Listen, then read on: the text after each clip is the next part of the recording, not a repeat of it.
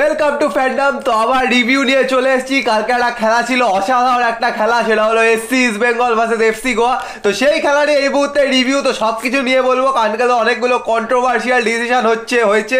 অন্য অন্য দিনে কিন্তু প্রচুর কন্ট্রোভার্সিয়াল ডিসিশন হয়, সেই সব নিয়ে তো কথাবার্তা বলবোই। তাছাড়া খেলা কেমন হয়েছে, সেগুলো নিয়েও কথাবার্তা বলব। একটা অসাধারণ গোল হয়েছে, সেটা নিয়েও বলব। কিন্তু সবার আগে যে কথাটা এখনও যারা সাবস্ক্রাইব করেনি, অবশ্যই কিন্তু সাবস্ক্রাইব করে নিও। নিচে লাল রঙের সাবস্ক্রাইব বাটনটা যে ক্লিক করে দাও তার রেগুলার এরকম ইন্ডিয়ান ফুটবলে আপডেটস ভিডিওস লাইভ সব কিছু পেয়ে যাবে। আর বেল আইকনটা কিন্তু অবশ্যই টিং টং করে অল অপশনটা প্রেস করে দিও, তাই রেগুলার নোটিফিকেশন পেয়ে যাবে। পাশে পুছে দেয় অ্যানালিস্ট আছে, যদি বেল আইকনটা না টিং টং করো, তাহলে নোটিফিকেশন পাবে না, পুছে দেয় অ্যানালিস্টের আর অবশ্যই আমাদের ফেসবুক আর ইনস্টাগ্রাম পেজটা কিন্তু ফলো করে নিও ডিসক্রিপশানে লিঙ্ক দেওয়া আছে। প্রথমে অ্যানালিস্টের থেকে শুনে নাও।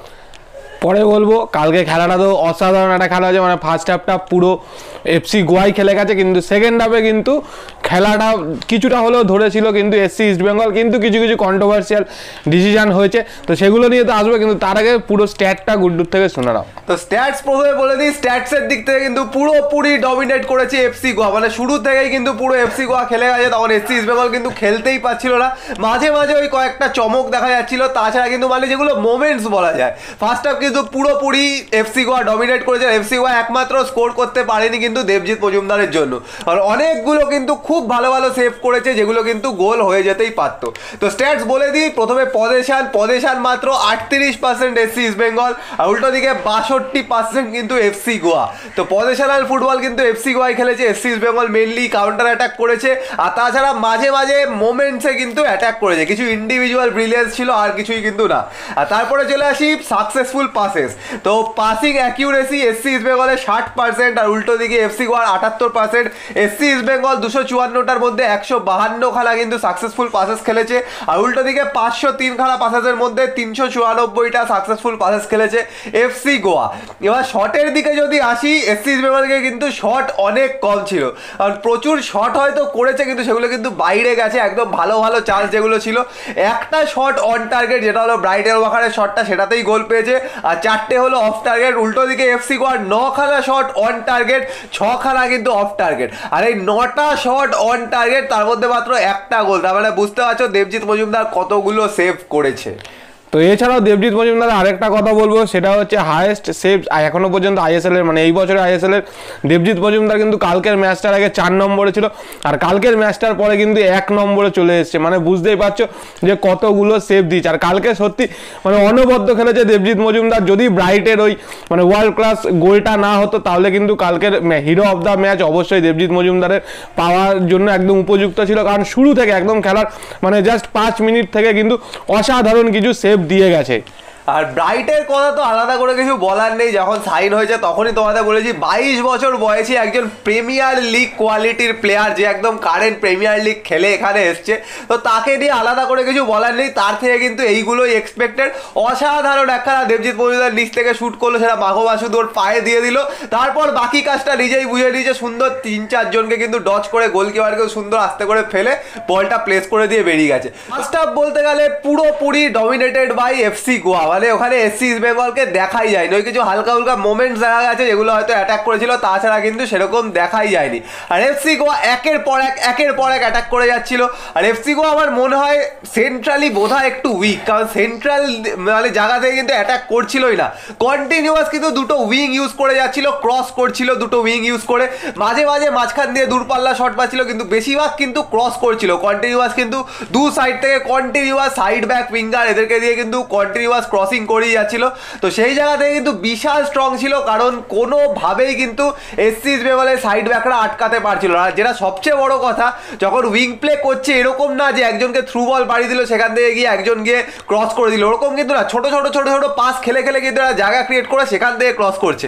ওইগুলো কিন্তু দেখতে অসাধারণ লাগল। মানে এফসি গোয়া বলতে গেলে ইস্ট বেঙ্গলের পুরো দুখানা আর কি কর্নার ফ্ল্যাগের কাছে গিয়ে কিন্তু টিকি টাকা খেলছিল বলতে গেলে।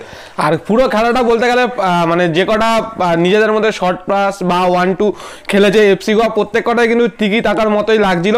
কিন্তু যেটা বলব যে কালকে হয়তো খেলার ফলাফল অন্যরকম হতে পারতো।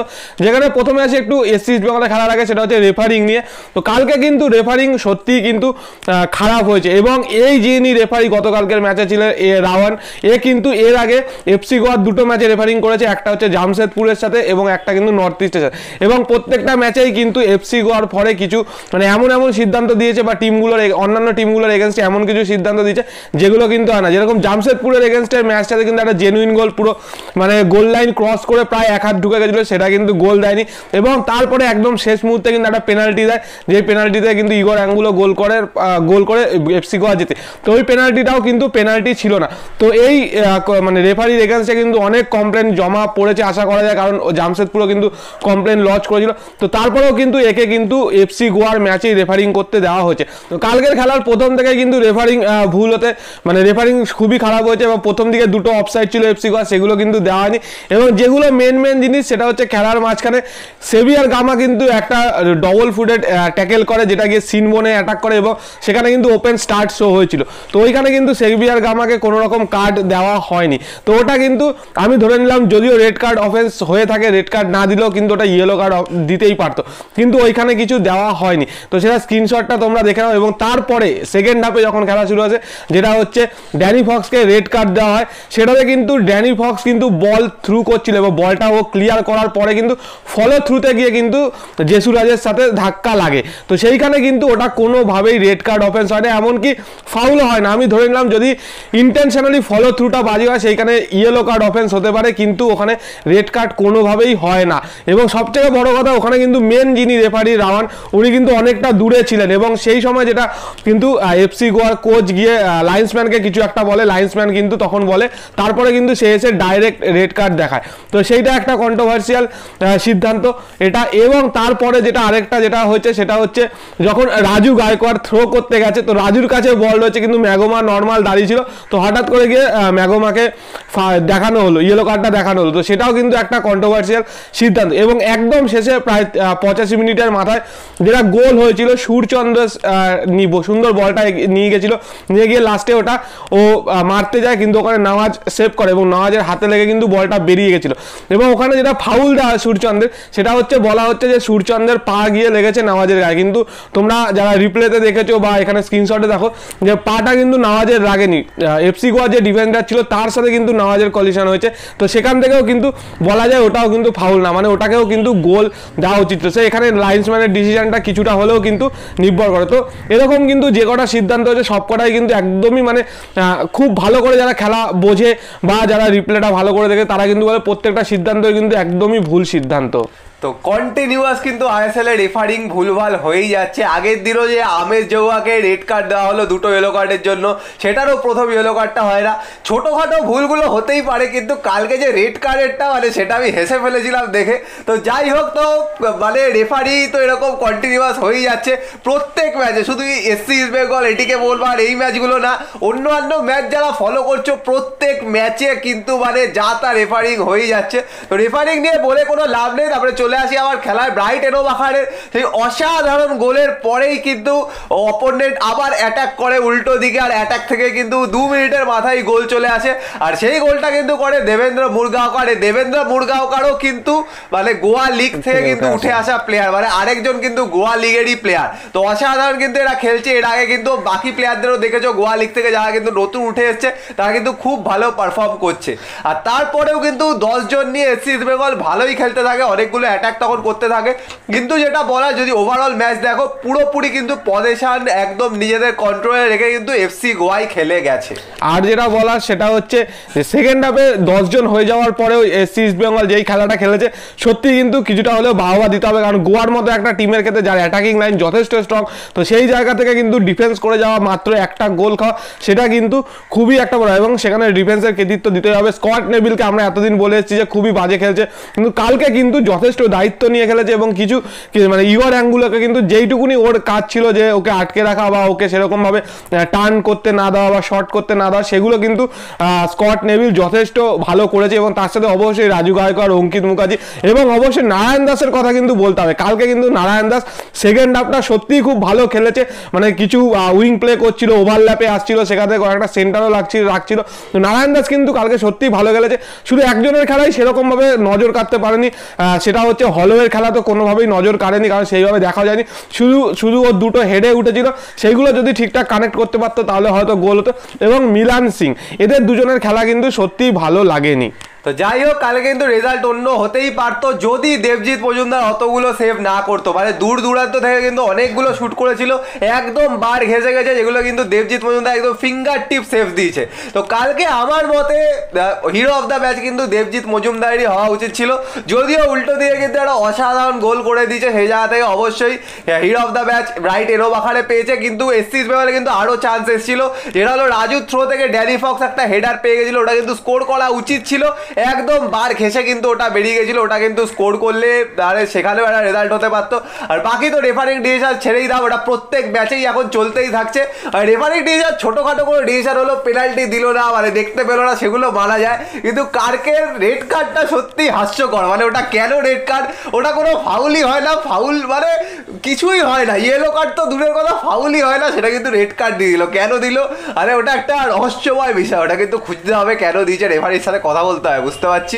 তোমাদের কি বক্তব্য? অবশ্যই কিন্তু জানিও আর খেলাটা কিন্তু ভালোই হয়েছে মোটামুটি বলতে গেলে। মানে এফসি গোয়া কিন্তু কন্টিনিউয়াস ভালো অ্যাটাক করেছে আর এসসি বেঙ্গলের ডিফেন্স কিন্তু অন্য অন্য দিনের চেয়ে কিন্তু আরও মনে হলো যেন স্ট্রং হয়েছে। অন্য অন্য দিনে যে খেলতে পারছিল না মেন সেটা হলো স্কট নেভিল কালকে কিন্তু স্কট নেভিল আমার মনে হয়েছে দায়িত্ব নিয়ে কিন্তু পুরো খেলেছে।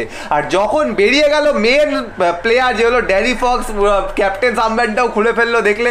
ক্যাপ্টেনও ছিল সে বেরিয়ে যাওয়ার পরে কিন্তু অনেকটাই ডিমোরালাইজ হয়ে যাওয়ার কথা। কিন্তু সেখানে কিন্তু স্কট নেভিল ভালো হাল ধরেছিল ডিফেন্সের আর অবশ্যই কিন্তু বলতে হবে ইয়ং ট্যালেন্ট হারমানপ্রীত সিং এর কথা। কালকে কিন্তু সত্যি খুব ভালো খেলেছে। একদম শুরু থেকে কিন্তু প্রচুর দৌড়ে যাচ্ছিল কন্টিনিউ বল চেস করে যাচ্ছিল। যার ফলে কিন্তু এফসি গোয়ার ডিফেন্স কিন্তু কখনো কিন্তু একদম মানে ক্যাজুয়াল নিতে পারেনি। আর অবশ্যই স্টেনম্যানের কথা বলতে হবে। খুবই ভালো পারফরমেন্স কিন্তু একটা খুব বাজে মিস সবাইকে কাটিয়ে নিল, কিন্তু ওটা ফার্স্ট বারে যদি ঠিকঠাক মতো রাখতো, তাহলে ওটাও গোল হতে পারতো। কিন্তু একদম পোস্টের বাইরে মারে। না হলে কিন্তু ওইখানেও কিন্তু স্কোর অন্য হতেই পারতো।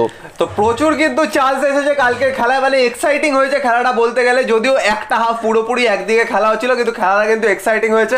আমরা অবশ্যই আশা করব আরও এরকম এক্সাইটিং ম্যাচ দেখতে পারব আইএসএল এ। আর আরেকটা জিনিস আশা করব রেফারিং স্ট্যান্ডার্ড যেন একটু হলেও বাড়ে। ছোটোখাটো ভুল হতেই পারে, কারণ রেফারিরাও মানুষ, তো ছোটোখাটো ভুল হতেই পারে। কিন্তু বড় সড়ো ভুল হলে সেটা কিন্তু খেলার রেজাল্টই পুরোপুরি চেঞ্জ করে দেয়। শুধু এই ম্যাচটা নয়, এর আগেও কিন্তু অনেক ম্যাচ আমরা এরকম দেখেছি। তোমাদের কি বক্তব্য? অবশ্যই কিন্তু জানিও কালকের খেলা নিয়ে যারা ইস্ট বেঙ্গল ফ্যান আছো কেমন লেগেছে কালকের খেলা? আর কি কি করতে হবে? আরও ভালো খেলতে গেলে তোমাদের কি মনে হচ্ছে? অবশ্যই কিন্তু জানিও আর ভিডিওটা পছন্দ হলে কিন্তু অবশ্যই লাইক করো শেয়ার করো আর চ্যানেলটা কিন্তু অবশ্যই সাবস্ক্রাইব করো আর বেল আইকনটা টিং টং করে দাও পুচে দা লিস্টের আপডেট পাওয়ার জন্য। তো চলো এখনের জন্য টাটা। টাটা।